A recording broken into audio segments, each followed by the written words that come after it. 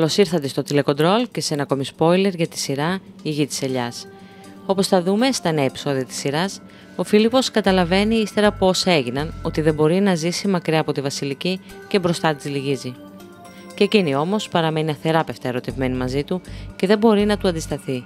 Οι δυο τους τα βρίσκουν ξανά και ίσως εκείνη που χαίρεται περισσότερο και από τους ίδιους είναι η Χάιδο, που βλέπει το γιο της ευτυχισμένο έπειτα από καιρό και μάλιστα τη μέρα των γενεθλίων της. Ο Λικούργο τη ετοιμάζει πάρτι έκπληξη για να τα γιορτάσουν όλοι μαζί και την επανασύνδεση του ζευγαριού και τη έχει πάρει και ένα όμορφο δώρο. Το σημαντικότερο όμως είναι ότι έχει καταλάβει πια και αυτός πόσο πολύ την αγαπά και θέλει να της εκφράσει την αγάπη του με μια εξομολόγηση βγαλμένη από την καρδιά του. Τα λόγια που της λέει είναι τόσο γλυκά και τρυφερά που η Χάιδος συγκινείται και νιώθει πραγματικά τυχερή που τον έχει στη ζωή της. Καλεσμένη στη γιορτή είναι και ο Στάθης με την Αριάδνη, αφού η Βασιλική κάνει επιτέλους ένα βήμα για να έρθει πιο κοντά στην αδελφή της. Και πράγματι, οι δυο τους περνούν χρόνο μαζί και αρχίζουν σιγά σιγά να γνωρίζονται καλύτερα. Ο Φίλιππος από τη δική του πλευρά κάνει κίνηση προς την αρετή, ζητώντας συγγνώμη για τη συμπεριφορά του. Όμως εκείνη δεν δέχεται τη συγγνώμη του, αλλά τον βρίζει με άσχημα λόγια.